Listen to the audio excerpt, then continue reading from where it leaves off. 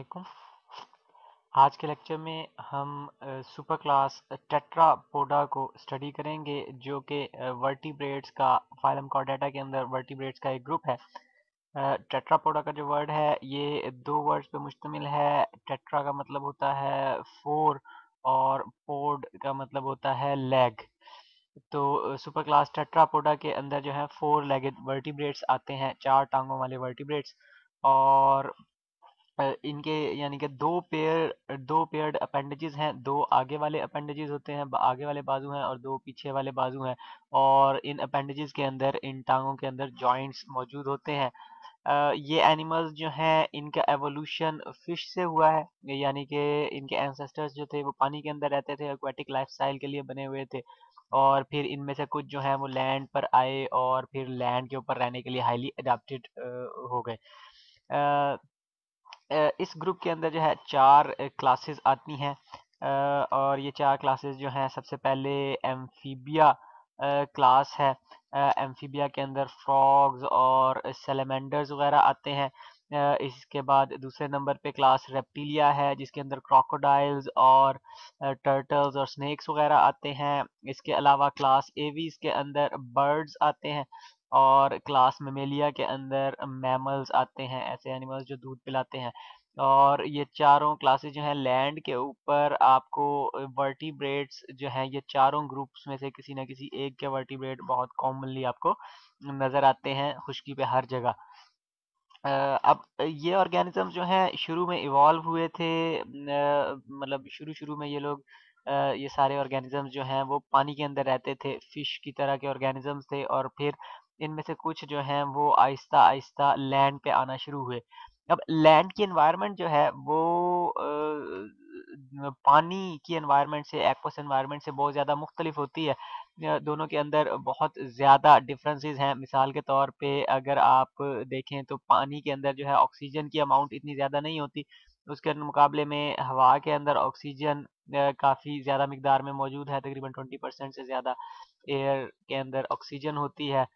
پانی کے اندر جسٹ ون اور ٹو پرسینٹ آکسیجن ہوتی ہے۔ اس کے برعکس پانی کے اندر جو ہے بہت سارے ڈفرینٹ قسم کے سالٹس آپ کو بڑی آسانی کے ساتھ ڈیزالو فارم میں مل جاتے ہیں لیونگ آرگینزمس کو۔ جتنے بھی سالٹس کی ضرورت ہو کیلشیم چاہیے سوڈیم پوٹیشیم اور کوئی بھی سالٹ چاہیے تو وہ سارے سالٹس جو ہیں وہ آئنس وہ پانی کے اندر موجود ہیں، بڑی آسانی کے ساتھ وہاں سے ایبزارب کیے جا سکتے ہیں۔ اس کے مقابلے میں لینڈ کے اوپر جو ہے ایسی کوئی صورت حال نہیں ہوتی۔ لینڈ پہ آپ کو اسپیسیفکلی ایسی ڈائٹ کھانی پڑتی ہے جس کے اندر یہ سالٹس وغیرہ موجود ہوں اور آپ کے اندر آئنس کی کمی نہ ہو۔ اس کے علاوہ واٹر کے اندر جو ہے، وہ آپ کو پتہ ہے کہ واٹر ہائیلی تھرموسٹیبل کمپاؤنڈ ہے۔ اس کا ٹمپریچر اتنی آسانی کے ساتھ چینج نہیں ہوتا۔ اس کے مقابلے میں لینڈ جو ہے، یہاں پہ ٹمپریچر دن اور رات میں آپ کو پتہ ہے کہ بہت زیادہ فرق ہوتا ہے۔ دن کے وقت جو ہے، جب سورج چمک رہا ہوتا ہے تو گرمی ہوتی ہے اچھی خاصی اور رات کے وقت جو ہے، وہ ٹمپریچر بہت کم ہو جاتا ہے، سردی ہو جاتی ہے۔ تو لینڈ کے اوپر ٹمپریچر جو ہے بڑی آسانی کے ساتھ چینج ہو جاتا ہے، اس کے مقابلے میں واٹر کے اندر ٹمپریچر جو ہے وہ چینج نہیں ہوتا۔ تو جو آرگینزمز پانی کے اندر رہتے تھے، ان کو عادت تھی اس اسٹیبل انوائرمنٹ کی۔ اس کے مقابلے میں جب وہ لینڈ پہ آ رہے ہیں، تو ان کے اندر ایسی چینجز آئیں گی یا ان کو ایسی چینجز کرنی پڑیں گی جن سے وہ لینڈ پہ سروائیو کر سکیں۔ اس کے علاوہ لینڈ کے اوپر ایک بینیفٹ یہ ہے کہ یہاں پہ پلیسز آف شیلٹر بڑی آسانی کے ساتھ مل جاتے ہیں، چھپنے کی جگہیں، شکاریوں سے اور جو ہے ریسٹ کرنے کے لیے وہ آسانی کے ساتھ اسپیسیز اویلیبل ہوتی ہیں۔ پانی کے اندر جو ہے آپ کہیں پہ اتنا چھپ نہیں سکتے، پانی ہے اور صرف پانی ہے ہر طرف، تو وہاں پہ آپ بھاگ کے کہیں زیادہ دور جا نہیں سکتے۔ اسی طرح لینڈ کے اوپر جو ہے وہ بریڈنگ کے لیے سوٹیبل پلیسز کافی زیادہ، کافی ساری آپشنز ہیں۔ آپ مٹی کے اندر بریڈ کر سکتے ہیں، درختوں کے اوپر گھونسلے بنا سکتے ہیں، غاروں میں رہ سکتے ہیں۔ تو اینیملز کو اس لحاظ سے لینڈ کے اوپر جو ہے وہ ریلیٹیولی ذرا آسانی ہے کہ ان کو شیلٹر کے اور بریڈنگ کے پلیسز مل جاتے ہیں۔ لیکن اس کے مقابلے میں دوسرا مسئلہ یہ ہے کہ ٹیمپریچر بڑی جلدی چینج ہوتا ہے اور سالٹس اتنی آسانی سے نہیں ملتے۔ البتہ آکسیجن جو ہے وہ وافر مقدار میں موجود ہے، لیکن اس کو ایبزارب کرنے کے لیے بھی کوئی اور سسٹم چاہیے، وہ ڈائریکٹلی گل سے آکسیجن ایبزارب ایئر سے نہیں ہو سکتی۔ اس کے علاوہ واٹر کا ایک اور بہت بڑا فائدہ یہ تھا کہ واٹر جو ہے، وہ سپورٹ پرووائڈ کرتا ہے۔ کبھی آپ پانی کے اندر گھٹنوں گھٹنوں پانی کے اندر کھڑے ہوں تو آپ فیل کریں گے کہ آپ کا باڈی کا وزن جو ہے، وہ کافی لائٹ سا فیل ہوتا ہے۔ اور پانی جو ہے، وہ اوپر کی طرف پل پش کر رہا ہوتا ہے آپ کو۔ تو اس کی وجہ سے گریوٹی کا افیکٹ جو ہے وہ آپ کے اوپر کافی کم ہوتا ہے، پانی کے اندر چیزیں جو ہیں وہ ذرا ریلیٹیولی ہلکی فیل ہوتی ہیں۔ تو اپنی باڈی کا وزن بھی وہاں پہ ریلیٹیولی ہلکا فیل ہوتا ہے۔ اس کے مقابلے میں جب آپ لینڈ پہ آ رہے ہیں تو آپ کو وہ سپورٹ دینے والا پانی موجود نہیں ہے۔ آپ کو صرف گریوٹی کا سامنا کرنا پڑے گا اور وہ اس کے لیے پھر آپ کو کافی پاورفل جو ہے وہ لمس چاہیے ہوں گی کافی بڑی بڑی بونس چاہیے ہوں گی جو آپ کو اور ان کے ساتھ بونس کے ساتھ ایسوسیٹڈ مسلس چاہیے جو آپ کی باڈی کا لفٹ باڈی کا ویٹ لفٹ کر سکیں۔ فش وغیرہ کو اس قسم کی کوئی پرابلم نہیں تھی، لیکن جب آپ لینڈ پہ آئے اینیملز جو ہیں لینڈ پہ آ گئے، تو ان کے اندر جو ہے پھر لمز کو زیادہ اسٹرانگ ہونا مجبوری بن گئی۔ اب ان سچویشنز کو پھر اینیملز نے کیسے کاؤنٹر کیا جو لینڈ اور واٹر کا فرق ہے، اس کو اس کا حل کیا نکالا؟ تو سب سے پہلی بات تو یہ کہ اکثر اینیملز کے اندر لینڈ پہ رہنے والے اینیملز کے اوپر جو ہے، ایک آؤٹر کور ہے سکن ہے یا اس کو ہم انٹیگومنٹ کہتے ہیں۔ اور یہ انٹیگومنٹ عام طور پہ ایک کافی مضبوط قسم کے مٹیریل کا بنا ہوا ہوتا ہے، جو ڈرائینس سے یا ڈیسیکیشن سے خشک ہونے سے بچاتا ہے یعنی کہ باڈی کے اندر جو واٹر ہے، وہ سورج کی روشنی سے کہیں ایویپوریٹ نہ ہو جائے تو اس کو ایویپوریٹو لاس آف واٹر کو پریونٹ کرتا ہے۔ اس کے علاوہ سن لائٹ میں جو الٹرا وائلٹ ریڈیشن ہوتی ہے اور دوسری مختلف قسم کی ریڈیشنز ہوتی ہیں، ان سے بھی آپ کی یہ جو ہے اینیملز کی باڈی کو پروٹیکٹ کرتی ہے سکن اس کے علاوہ ایک اور میجر پرابلم یہ تھی کہ ایگز جو ہیں وہ پانی کے اندر تو اسٹیبل انوائرمنٹ ہے، تو ایگز وہاں پہ بڑی آسانی کے ساتھ سروائیو کر سکتے ہیں، نہ ان کو سالٹس کی پرابلم ہوگی، نہ ان کو واٹر کی پرابلم ہوگی، نہ ان کو ٹمپریچر کی پرابلم ہوگی. اس کے مقابلے میں لینڈ کے اوپر جو اینیملز آ گئے تو اب یہاں پہ لینڈ پہ جو ایگز ہوتے ہیں، ان میں ایشو یہ ہے کہ ان کو کیسے پروٹیکٹ کیا جائے، کیونکہ خشکی کے اوپر تو ہے کہ کوئی پونڈ ہے، وہاں پہ اگر دن کے وقت بارش ہوئی ہے، وہاں پہ پانی ہے، تو ہو سکتا ہے اگلے دن وہاں پہ پانی نہ ہو، جتنے انڈے اس اینیمل نے دیے ہیں وہ سارے ضائع ہو سکتے ہیں۔ تو اس سے بچنے کے لیے پھر ایگز کی پروٹیکشن کا بھی اینیملز نے بہت اچھا بندوبست کیا اور سب سے امپورٹنٹ چیز جو ان کے اندر ڈیولپ ہوئی وہ ایک ہارڈ شیل ہے کہ ایگز جو ہیں وہ باہر سے آپ کو پتا ہے کہ کیلشیم کاربونیٹ کے ایک شیل کے اندر مکمل طور پہ کورڈ ہوتے ہیں۔ جو ان کو مکینیکل انجری سے اور ڈیسیکیشن سے بچاتے ہیں۔ یعنی کہ خشک ہونے سے اور کوئی چوٹ وغیرہ لگنے سے، جھٹکے وغیرہ لگنے سے ان کی پروٹیکشن کرتے ہیں۔ اس کے علاوہ ان ایگز کے اندر جو ہے کافی ساری اماؤنٹ میں یوک موجود ہوتی ہے اور یہ یوک جو ہے وہ اسٹورڈ فوڈ ہے، جو اس ایمبریو کو ڈیولپمنٹ کے دوران نورشمنٹ پرووائڈ کرتا ہے۔ اس کے علاوہ لینڈ پہ رہنے والے اینیملز کے اندر کچھ ایکسٹرا میمبرینز ہوتی ہیں جو پروٹیکشن کا اور دوسرے امپورٹنٹ فنکشنز پرفارم کرتی ہیں اور یہ کہلاتی ہے، تین میمبرینز ہوتی ہیں ایمنیون ایلنٹوائس اور کوریون اور ان تین میمبرینز یہ تین میمبرینز جن آرگینزمز میں پائی جاتی ہیں، ان کو ہم نے کہا تھا کہ ہم ان کو ایمنیوٹ کہتے ہیں۔ اور اس کے اندر ورٹیبریٹس کی تین کلاسز اس گروپ کے اندر آتی ہیں۔ اس کے علاوہ ایک اور امپورٹنٹ فیچر جو ہے، جو لینڈ اینیملز نے اپنے اندر پیدا کیا، وہ ہے گلز کی جگہ پہ لنگز کی ڈیولپمنٹ اب فش جو ہے وہ پانی میں رہتی تھیں اور پانی میں آرگنز جو ہیں، وہ ریسپائریشن کے لیے جو آرگنز استعمال ہوتے ہیں وہ گلز ہیں۔ اور گلز کے ذریعے سے جو ہے، پانی کے اندر تو بڑی آسانی کے ساتھ آکسیجن ایبزارب کی جا سکتی ہے۔ یہ لیکن یہ گلز جو ہیں وہ خشکی پہ آتے ساتھ ہی بالکل ناکارہ ہو جاتے ہیں، کسی کام کے نہیں رہتے۔ تو ایئر سے گیس ایکسچینج کرنے کے لیے پھر اینیملز نے لنگز ڈیولپ کیے اور یہ لنگز جو ہیں بڑی ایفیشنٹلی ایئر میں سے آکسیجن ایبزارب کر سکتے ہیں۔ اور اب یہ آکسیجن ایبزارب کرنے کے لیے لا صرف ریسپائریٹری سسٹم میں چینجز آئیں، بلکہ ساتھ ہی ساتھ سرکولیٹری سسٹم میں بھی چینجز آئیں۔ یعنی کہ بلڈ جو ہے وہ بھی اس قابل ہونا چاہیے کہ وہ بجائے گلز کے ان لنگز سے آکسیجن کو جو ہے کیری کر کے باڈی کے مختلف حصوں تک پہنچائے۔ تو اینیملز کے اندر اس حوالے سے بھی کافی چینجز عمل میں آئیں۔ اس کے علاوہ لوکوموشن کے لیے جو ہے، وہ فش کے اندر آپ کو پتا ہے کہ فنز موجود تھے۔ اور ہائر اینیملز کے اندر پھر لوکو موشن کے لیے فنز کے بجائے اب لیگز نے جگہ لے لی اور وہ جو بیسک سٹرکچر فنز کا تھا، وہی سٹرکچر بیسیکلی موڈیفائی ہو گیا انٹو لمز پہلے ذرا سمپل قسم کے فنز بنے اور سوری لمز بنے۔ اور اس کے بعد ان لمز کی بونز وغیرہ جو ہیں، ان کے اندر چینجز آئیں اور وہ ریلیٹیولی سٹرونگر بونز بنی جو زیادہ ویٹ برداشت کر سکتی ہیں۔ اور پھر یہ مختلف ڈائیورس فنکشنز کے لیے ان کے اندر چینجز آئیں۔ مثلا کچھ آرگینزمز کی بونز ان کو اس قابل بناتی ہیں کہ وہ چل سکتے ہیں، کچھ بڑی تیزی کے ساتھ بھاگ سکتے ہیں۔ مثال کے طور پہ چیتا اور ہرن وغیرہ ہیں۔ اس کے علاوہ کچھ کے لیمز ان کو اڑنے کے قابل بناتے ہیں، مثلا برڈز اور بیٹس ہیں۔ اور کچھ جو ہیں وہ مونکیز کی طرح ٹریز وغیرہ کے اوپر کلائم کر سکتے ہیں اپنے لیمز کی مدد سے۔ تو یہ جو ہے ہائیلی اڈیپٹیو فیچر ہے ان آرگینزمز کا یہ جو لیگز ہیں ان کی۔ اور اسی کی بیس پہ ہم ان کو ٹیٹراپورٹس بھی کہتے ہیں۔ پھر اس کے علاوہ خشکی کے اندر رہنے کے لیے بہت سارے اسپیشل سینس آرگنز بھی ڈیولپ ہوئے۔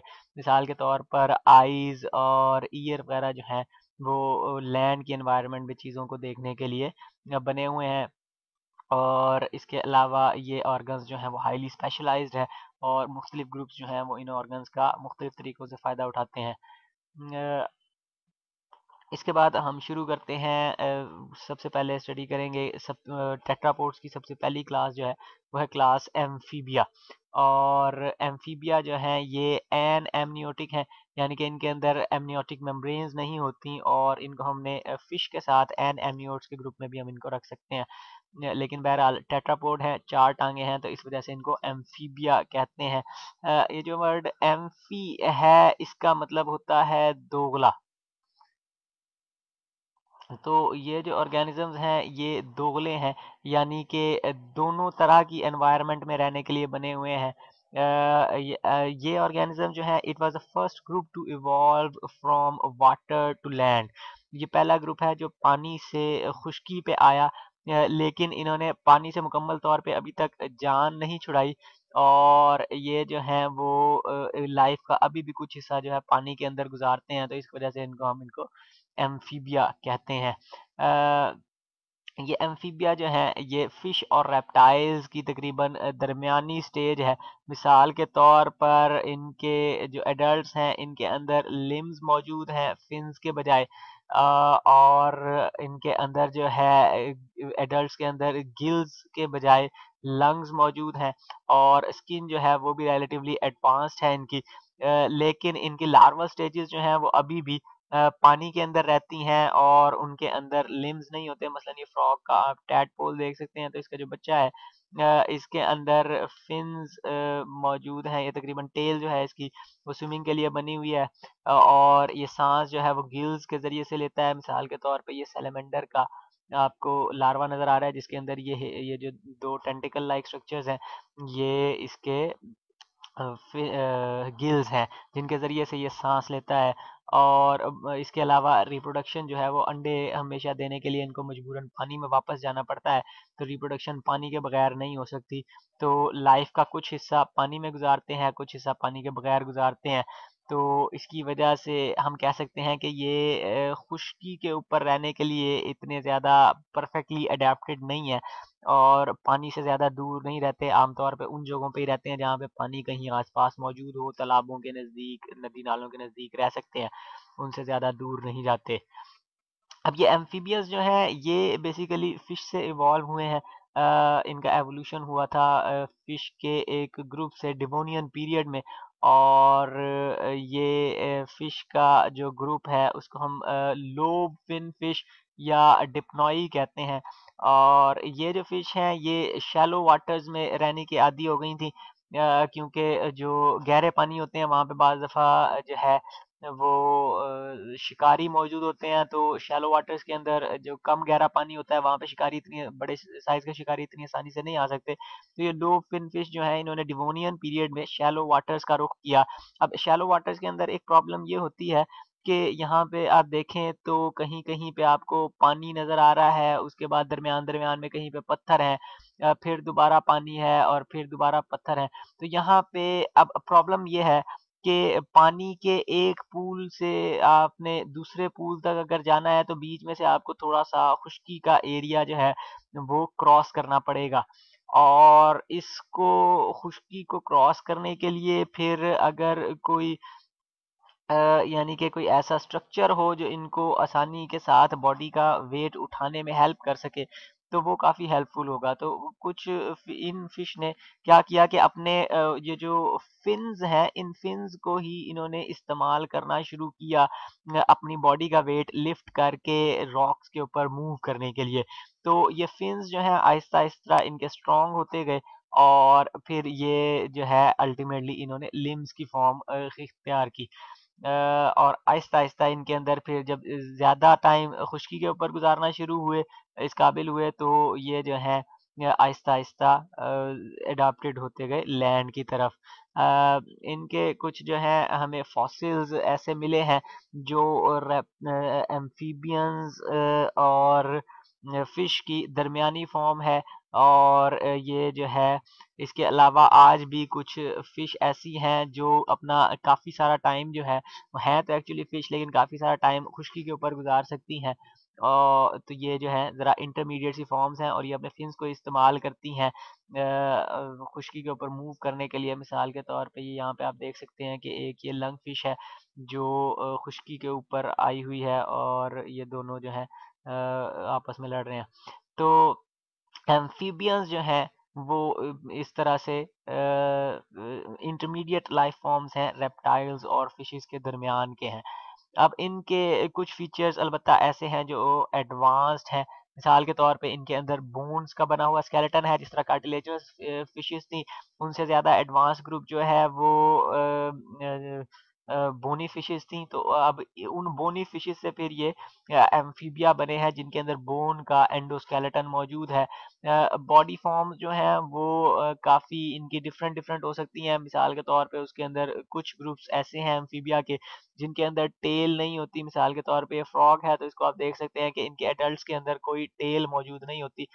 اس کے مقابلے میں سیلیمنڈرز اور نیوٹس وغیرہ جو ہیں، ان کے اندر آپ یہاں پہ دیکھ سکتے ہیں۔ یہ ایک سیلیمنڈر ہے۔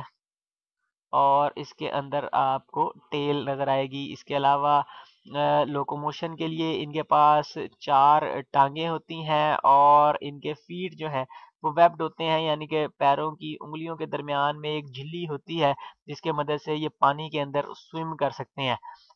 ان کے کچھ گروپ ایسے بھی ہیں جن کے اندر لیگز سرے سے موجود ہی نہیں ہوتی اور یہ سنیک کی طرح کی ان کی باڈی ہوتی ہے۔ اور ان کو ہم سسیلینز کہتے ہیں اور یہاں پہ آپ کو ایک سسیلین دکھایا ہوا ہے تو یہ دیکھنے میں بالکل ایک ورم کی طرح لگتا ہے جس کی کوئی ٹانگیں نہیں ہے اس کے علاوہ ان کی سکن جو ہے وہ کافی اسموتھ اور موئسٹ ہوتی ہے۔ یہ عام طور پہ سانس جو ہے وہ اسکن کے ذریعے سے لیتے ہیں، تو اس کے لیے ان کی اسکن کو جو ہے موئسٹ رکھنا پڑتا ہے تاکہ آکسیجن پانی کے اندر ڈیزالو ہو کے ان کی باڈی کے اندر انٹر ہو سکے بلڈ کے اندر۔ اور اس کے علاوہ اسکن جو ہے وہ اسموتھ ہوتی ہے، اتنی زیادہ ہارڈ اسکن نہیں ہے۔ کیونکہ ہم نے بات کی پہلے ہی کہ یہ اتنے زیادہ لینڈ کے ساتھ لینڈ پہ رہنے کے لیے اڈیپٹیڈ نہیں ہے۔ تو اس وجہ سے ان کی سکن جو ہے وہ اتنی زیادہ کمپلیکس یا ہارڈ سکن ابھی تک ان کے اندر ڈیولپ نہیں ہوئی۔ اسکن کے اندر جو ہے بہت سارے ڈفرنٹ ٹائپ کے گلینڈز ہوتے ہیں، کچھ جو ہیں وہ پوائزن پروڈیوس کرتے ہیں تاکہ پریڈیٹرز ان کو نہ کھا سکیں۔ مثال کے طور پہ یہ آپ کو ریڈ کلر کا فراگ اور یہ ریڈ کلر کا سلیمنڈر نظر آ رہا ہے تو یہ دونوں ہی ہائیلی پوائزنس ہیں۔ سانپ وغیرہ اگر ان کو کھا لیں تو ان کی ڈیتھ ہو جاتی ہے تو اس وجہ سے وہ آرگینزم جو ہیں وہ ان کا شکار عام طور پہ نہیں کرتے۔ اس کے علاوہ ان کے اندر جو ہے وہ کلر اسکن کے اندر کلر پروڈیوس کرنے والے آرگنز ہوتے ہیں، جن کو ہم کرومیٹو فورز کہتے ہیں۔ کروما ہم پہلے کئی جگہ پہ پڑھ چکے ہیں کروما کا مطلب کلر ہوتا ہے۔ تو یہ کرومیٹوفورز جو ہیں، اس کی وجہ سے ان کی باڈی کے اندر جو ہے وہ بہت سارے ڈفرینٹ ڈفرینٹ کلر کے پیٹرنز عام طور پہ نظر آتے ہیں۔ مثال کے طور پہ یہ ایک سیلیمنڈر آپ کو نظر آ رہا ہے، اسی طرح یہ سیلیمنڈر ہے، یہ فراگز ہیں۔ تو یہ مختلف کلرز کے ہوتے ہیں۔ اسکن کے اوپر عام طور پہ اسکیلز وغیرہ کوئی موجود نہیں ہوتے۔ اس کے علاوہ ریسپائریشن کے لیے ایمفیبیا کے اندر جو ہے وہ لارول سٹیجز کے اندر گلز موجود ہوتے ہیں، جیسا کہ میں آپ کو پہلے دکھا چکا ہوں۔ اور ایڈلٹس میں البتہ گلز ختم ہو جاتے ہیں اور اس کی جگہ پہ لنگز آ جاتے ہیں۔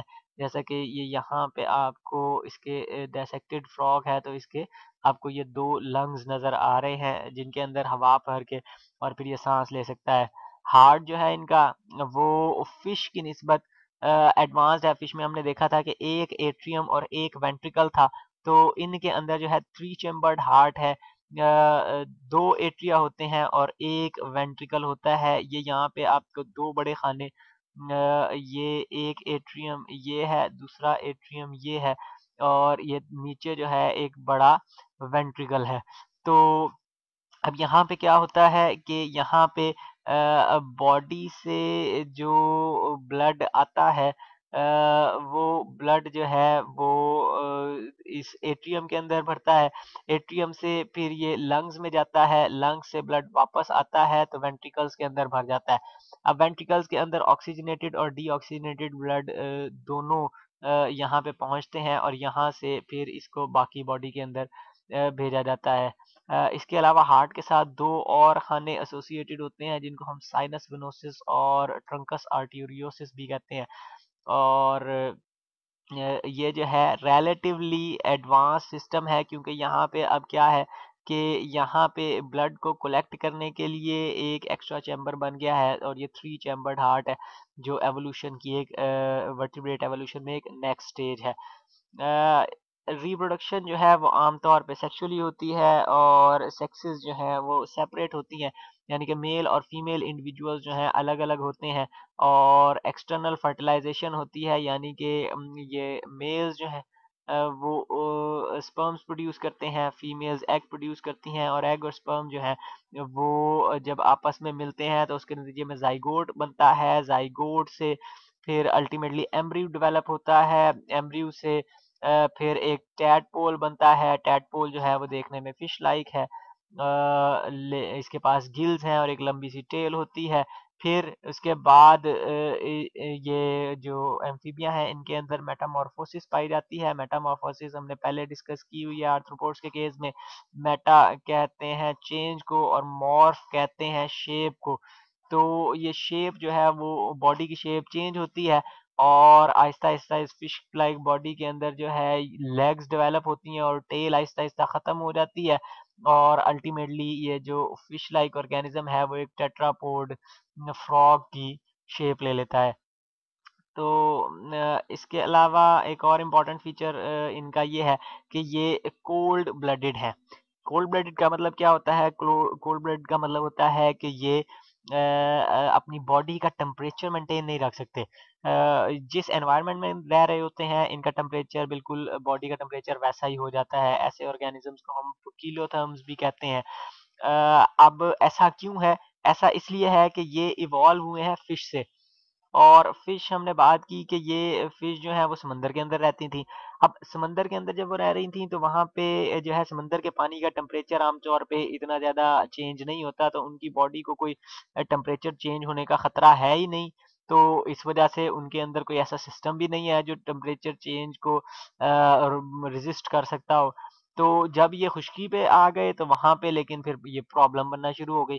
وہاں پہ کیا پرابلم ہے؟ وہاں پہ یہ ہے کہ باہر کا ٹمپریچر چینج ہو رہا ہے۔ اب جب باہر کا ٹمپریچر چینج ہو رہا ہے تو ان کے اندر، لیکن کیونکہ یہ ریلیٹیولی پریمیٹیو گروپ ہے، تو ان کے اندر کوئی ایسا سسٹم موجود نہیں ہے جو باڈی کی ہیٹ کو مینٹین رکھ سکے اور اس کی وجہ سے ان کو ہم کولڈ بلڈڈ آرگینزمس کہتے ہیں۔ اور اس کا پھر انہوں نے کیا حل نکالا؟ انہوں نے حل یہ نکالا کہ جب ٹمپریچر انفیوریبل ہو جاتا ہے، ان کی برداشت سے باہر ہو جاتا ہے تو پھر یہ ہائبرنیٹ کر جاتے ہیں کسی مٹی کے اندر چھپ کے یا کسی پتھروں کے اندر کسی سوراخ وغیرہ میں بیٹھ کے یا وہاں پہ سو جاتے ہیں اور جب تک سردیوں کا موسم گزر نہیں جاتا تب تک وہ سوئے رہتے ہیں۔ بالکل اپنی ساری ایکٹیویٹیز بند کر دیتے ہیں مجبوراً۔